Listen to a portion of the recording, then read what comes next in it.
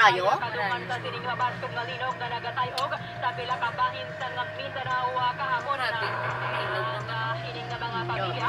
ang nagkabantayan sa gong sa Story ang Southern nagkakabaan. Trade and Shopping Center sa Mayapanwa sa nga Pero sa bagay ganin, yung lipod yung ulay, no? Ang mga sa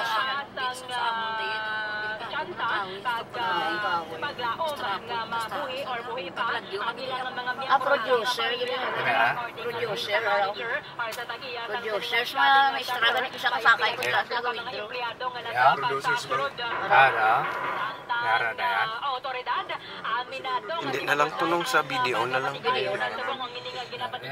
Kay dugamay na yung nga bangko, basi taas ilang nga. Kaya nga kung nga card, alin sa abroad.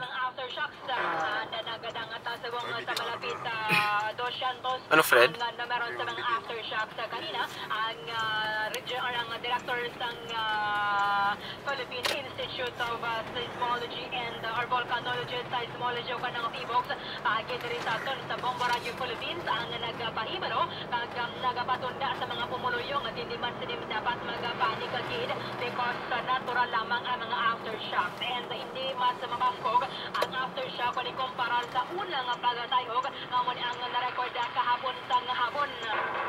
Natabuan man nga si President Rodrigo Duterte